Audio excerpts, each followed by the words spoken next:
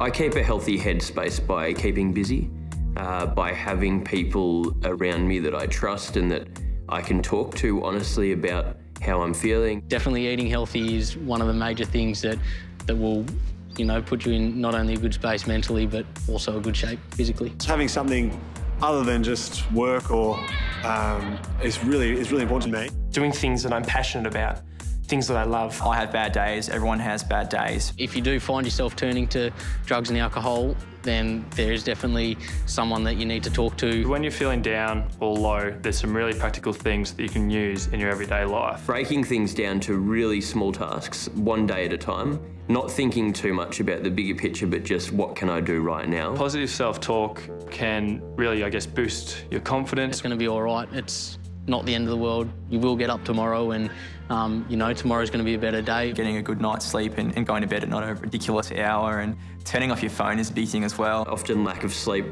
makes us angry, frustrated. Um, we can't think clearly and we'll make bad decisions. I've tried meditation. I found it very beneficial for me um, in not only calming myself down, but visualising what is to come in my life. Taking that time for self-reflection to analyse where you are and just to enjoy the positive things that you've got in life. I think writing a lot of things down um, is something that can help as well. And just get things off your chest because I think that's, to me, the biggest issue is people don't, don't talk about it enough. Verbalising, I'm not feeling quite right, um, has really helped and doesn't mean I know what's going on or what that feeling is but it starts a conversation with, with those around me. My old, old man, love him, typical alpha male, probably not the greatest at asking for help.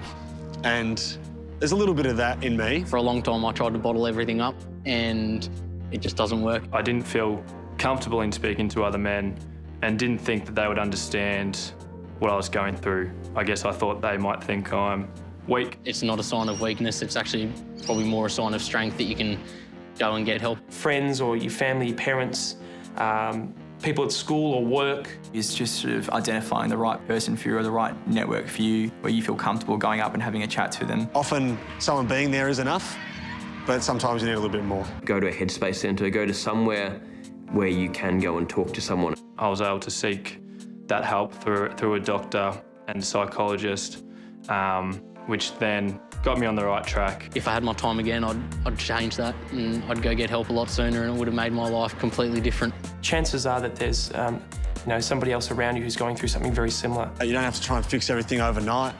Um, it might be just, you know, going to bed earlier or it might be changing your diet, going for a run three times a week. Something small initially, and then you'd be surprised that your motivation changes. Yeah, so if you can incorporate all these things into your life, your family, your friends, um, a nice active lifestyle, then um, the benefits for your mental health will be, will be massive.